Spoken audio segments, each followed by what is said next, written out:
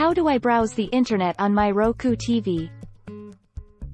Go to Channel Store on your Roku and search for Google Play Movies and TV. Click on Go to Channel and then sign in. Then go to play.google.com slash Roku on your computer or mobile device.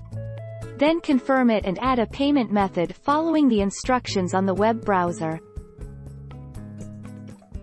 Can you browse internet on TV? The most useful thing you can do with a smart TV is access streaming services like Netflix, Hulu, Amazon Instant Video, and YouTube.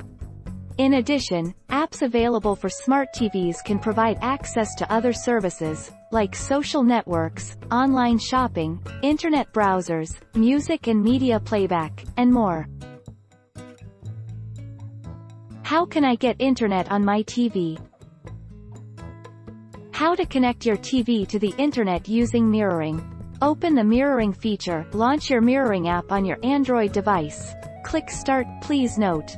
Both your TV and device must be connected to the same Wi-Fi network. Don't forget to subscribe for more of these videos.